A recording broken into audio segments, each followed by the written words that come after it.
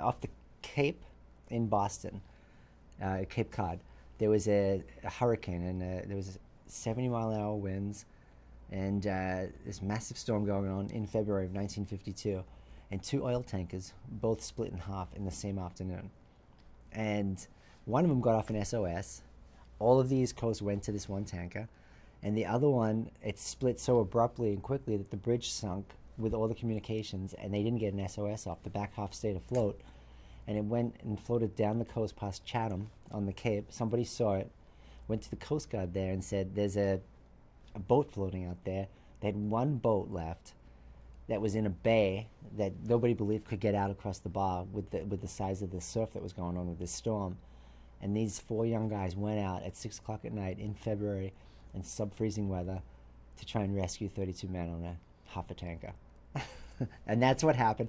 Meanwhile, on the tanker, trying to stay afloat, they rigged up the, the tiller with chains and uh, started up the engines and they beached it so that they wouldn't sink and waited out there.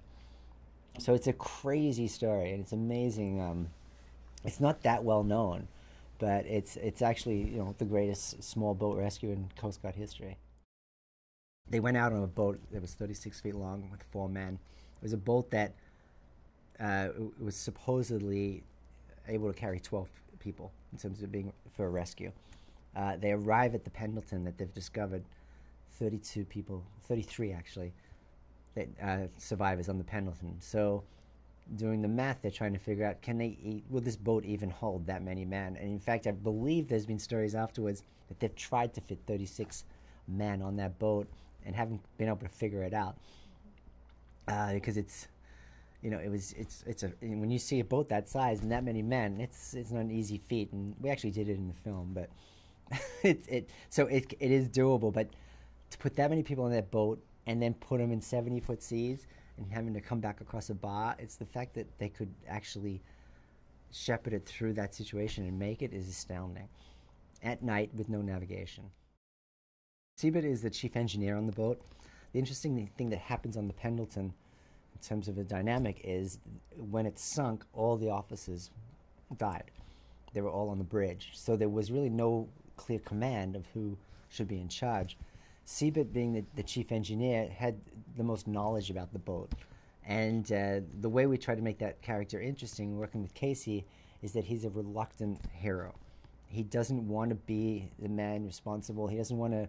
He doesn't like being in charge. He sort of avoided that by walking down below, you know, in the in the bows of the boat, and and not having to have to take on that that uh, the onus of the authority and and just the, just the weight I think of having to you know carry the responsibility. So that's that struggle that uh, we found interesting, and Casey really did a beautiful job with working through that and becoming a leader for the men and having to do that to save all of their lives because there's a lot of differing opinions going on on the boat of what they should do, you know, to the verge of almost a mutiny. So at a certain point, you know, that all comes to a, climax. You know what I uh, what I loved in Scott Silver's writing, uh, like on the page, uh, Miriam is Bernie Webber's girlfriend. We meet them on their first date, and the thing that was really attractive for me about Miriam is she's a very strong, independent woman, which felt a little unusual for that time period. And she's she's actually she actually challenges Bernie to, to think more. And uh, she she has several scenes where she stands up for him, or tries to confront the situation for like not being right. And just to have a powerful woman like that in that time period, I thought was just a, a great opportunity. And then trying to find somebody that could have that do that delicate dance between being strong but not intimidating for that period. Um, Holliday Grainger did such a superb job, and she, she, just, you know, the chemistry between them was beautiful, and it's it really is the heart of the film, and it's like you're so yearning for those two to make it back together, and she's doing everything she can to try and help out from shore, in terms of dealing with the superiors, dealing with the town, and uh, you know, rallying those efforts and while he's like, literally fighting for his life, you know, out in the ocean. Chris Pine plays Bernie, and something that was I loved working with Chris on is he really got to create a character with Bernie. It's like everything from from the mannerisms to the accent. It was such a fully formed character and an evolution of that character as he grew.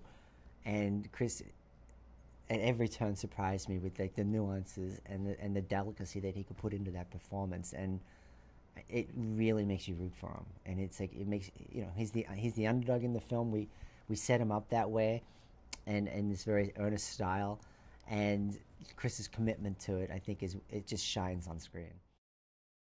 Holliday Grainger uh, plays Miriam, and I, you know, I wanted her in this film from the from the get go. I'd seen her in some some some films before, and she just had this this strength and this innocence, which is such an interesting combination to be able to pull off, to be both, because she is she's she's sort of. Uh, on the verge of this new generation in the 50s with rock and roll coming in and this sort of exuberance, but there's still like the leftovers of the war and the depression and and she's sort of bridging that gap. And Bernie is a little bit more from the older period, and she's full of life and innocence, but at the same time, she's very strong. And being able to do that dance and play that performance, she just did a miraculous job.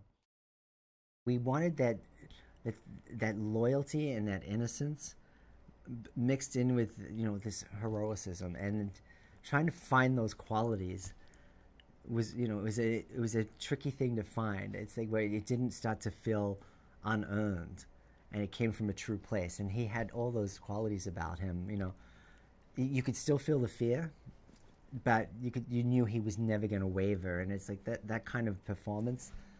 Uh, it was beautiful to watch. What I loved with Eric, uh, who you immediately think of as a very strong, intimidating presence and you know we met and I said you know I want you to play this guy insecure he's like really and um, I said yeah I said you know Cluff has only just arrived at the Coast Guard station he's from Virginia he hasn't proven himself in front of these men yet and he doesn't actually know this world like he doesn't know the East Coast and the Northeasters and how it all works so he's second guessing himself and we need to feel that throughout the film because he actually it was a, it was not a wise choice to send these men out. It turned out great in the end, but a man with more experience probably wouldn't have done it. And so Eric had to bring all those nuances to his performances, and he did an amazing job with it. I love Ben Ben uh, Foster in this movie. Um, he's uh, he's he's a contrarian to Bernie. He's sort of he informs the audience on, on how the rest of the Coast Guard station feels about him you get the sense from him that you know Bernie is very much the B team. He hasn't earned the respect yet that the A team has at the Coast Guard station, and we see that all through the eyes of Ben Foster's performance. He gives him a hard time. He calls him on things, and he questions him, and then you see that respect that is earned throughout the film.